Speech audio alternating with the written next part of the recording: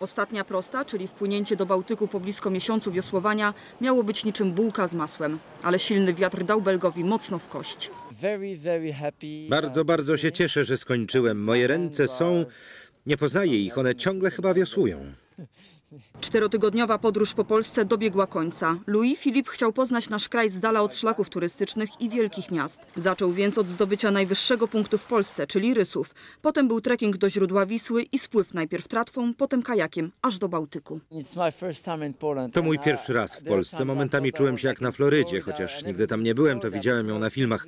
I zastanawiałem się w czasie tej wyprawy, dlaczego nie wiemy więcej o Polsce. Na pewno tu wrócę. Chociaż 1200 kilometrów po Polsce przemierzył samotnie, każdy jego krok i ruch wiosłem rejestrowały kamery. O Polsce widzianej jego oczami powstanie film dokumentalny.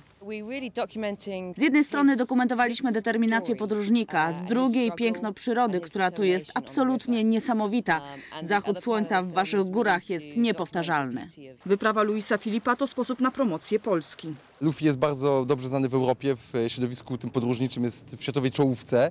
Mm, Także taki człowiek u nas to prawdziwy skarb. Choć nie wszystko było godne zachwytu. Podróżnik narzekał na śmieci pływające w rzece w pobliżu dużych miast.